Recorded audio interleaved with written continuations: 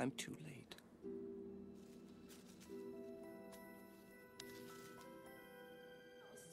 I to do? He just walked off without saying a word. Are all men like this? Well, I'm afraid none of them are very bright. They get something stuck in their heads and you can't do a thing with it. My dear, we have to talk.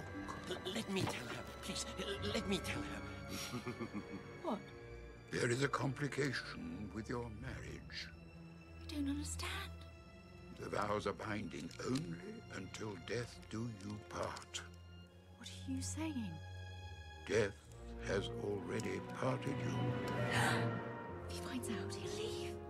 There must be something you can do. Well, there is one way. Oh, please, please, let me tell her.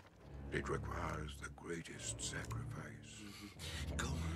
Go on, get to the good part. What is it? we have to kill him. What? Victor would have to give up the life he had forever. He would need to repeat his vows in the land of the living and drink from the wine of ages. Poison. This would stop his heart forever. Only then would he be free to give it to you.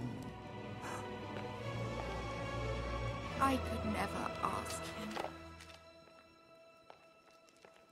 You don't have to. I'll do it. My boy, if you choose this path, you may never return to the world above. Do you understand?